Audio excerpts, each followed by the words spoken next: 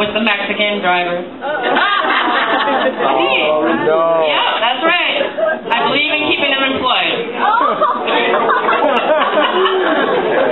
You're not. Oh, come on now.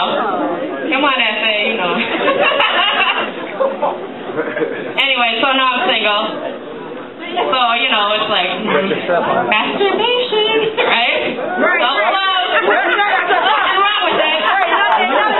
Hey, better than picking up somebody at the club that you don't know, right? And getting a few uh, scratches and itches, right? So, I'm saving up. Ladies, I know you know. I'm saving up for the one in the glass case. The solar powered vibrator. well, since the sun shines on my ass and all, I figure it'll be good. I'll save a shitload on batteries.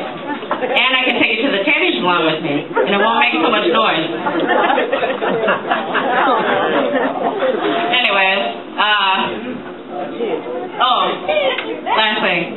I, I see you, Mac. Mighty Mo, Mighty Mo. so yeah, I got my 20 year reunion coming up. I know they're like talking shit about me right here. But they look so sweet, don't they?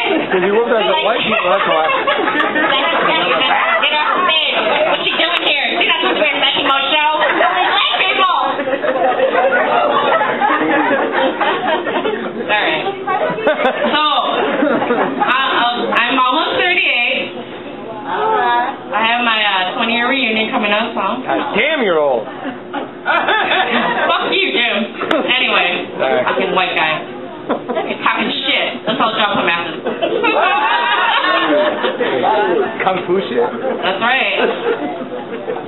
So, you know, ladies, you know how it is when you got kids. How many, how many single mommies or mommies in the house? You know how it is. You might work out and shit, but your body's just never the same after you have kids, right? Okay. So my driver was my last boyfriend. He's 10 years younger than me.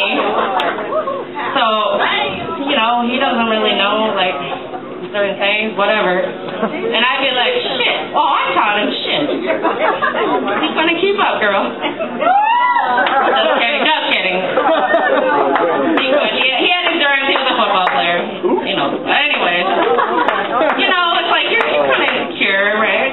You know. He's like, oh baby, get on top. Cause I like a doggy style, right? It's like shit. You can like hide in the blankets and shit. Put your ass in the air, and everybody everything looks sexy, right? It's like, oh baby, get on top. Get on top. All right, fine. Turn the lights off. No, baby, I want to see it all. Fuck. all right. So you're like, okay. And he's like, oh, yeah, baby,